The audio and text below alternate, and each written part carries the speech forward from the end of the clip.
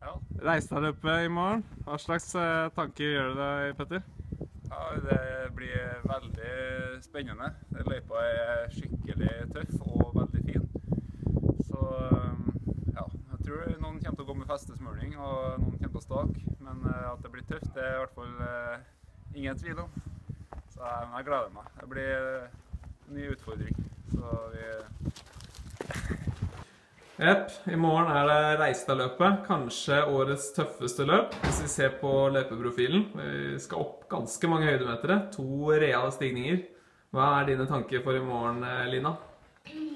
Ja, eh, det kommer jo bli tøft oavsett hvordan man gjør, så jeg tror at det er den som er mest villig å sette ned huvudet i skiten morgen og bare kjøre, som eh, kommer lykkes best. Ja. Så du er klar. Hva tror du eh, Hva gjør du i morgen? Ja, det får vi väl se. Eh, det blir nog eh, ja, mestadels stakning men eh, ja, vi får se imorgon. Ja. Lykke til. Takk. Jepp. Er vi på, i Bardufoss, er klar for Reistadløpet. 50 km i barskt nordnorsk terreng med mye tøffe stigninger. Hva er dine tanker i morgen eh, å løpe, Torgeir? Nei, Det blir jo spennende å se hvor mange som uh, velger å gå med feste og uten, og uten feste. Så det blir spennende. Men vi har et S-jerv òg. Vi har jo uh, prøver alltid å lade opp med is. Og eh, når løypeprofilen er såpass hard, så passer det perfekt for å stige i gang med en tigeris. Tigeris, det er oppskriften.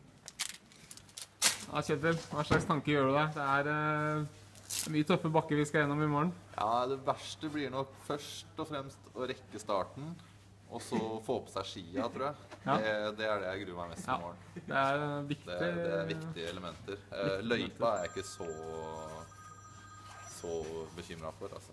Nei. Oppover går det. Alt som går opp, det må komme ned. Ja, du er god nedover. Det fikk du vist i Birken. Og ja, Hei, pappa. det blir bra. Ja, Stian, hva tenker du med morgendagen? Det blir bra. Gleder meg. Men spørsmålet er jo da Hva tenker du, Høst? Hva tenker jeg, ja? For det er jo vi folk spente på, ikke sant? Hva tenker du? Nei, eh, Ikke si alt du tenker på. Ikke si alt, nei. nei. Nei, jeg tenker at det her eh, blir, eh, det blir tøft løp. Det blir, eh, kanskje kan bli et historisk løp. At det kanskje en vinner med feste. Og det har jo ikke skjedd på tre år. Så nei, det blir spennende å se. Hva skjer? Blir, blir det deg? Blir det Det får vi se. Men jeg tror nok eh, For, for Høst har nemlig tatt ikke Men det blir, det blir enten deg Eller eller blir det meg. Petter? Eller blir det Er det mange Tygesen, eller kanskje den lokale pokalen? Hva du tror du? Ta bilde av deg. Nei, nei, nei, vi tar bilde av deg. Video. Så ja, men det er, er du klar? Jeg er klar, ja. Tiger-TV?